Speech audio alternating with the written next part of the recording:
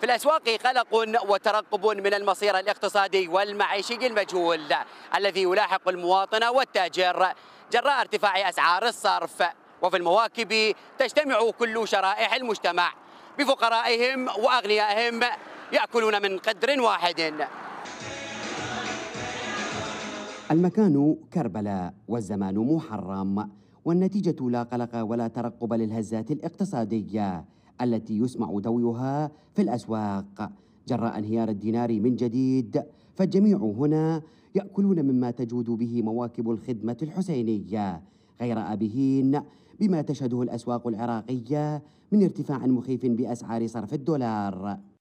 مع الأسف مرة أخرى يعود مسلسل آه، ارتفاع صرف الدولار الأمريكي أمام الدينار العراقي والمتضرر الوحيد هو المواطن الفقير. اليوم المواطن الكربلائي لا يحس بتداعيات آه، موضوع ارتفاع سعر صرف الدولار بسبب آه، انتشار المواكب ويعني الغني والفقير يأكل من هذه المواكب. أصحاب المواكب يعدون يوميا طعاما تقدر قيمته بملايين الدنانير لإطعام آلاف الزائرين على مدار الساعة.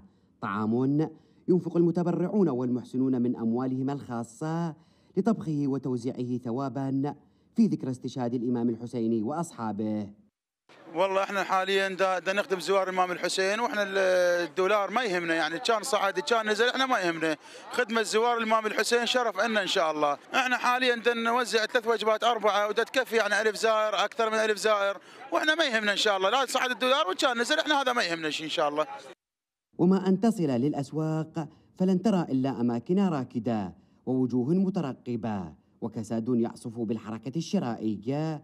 مع تخوف من تردي الدينار واستمرار صعود الدولار الذي أودى بقوت المواطنين.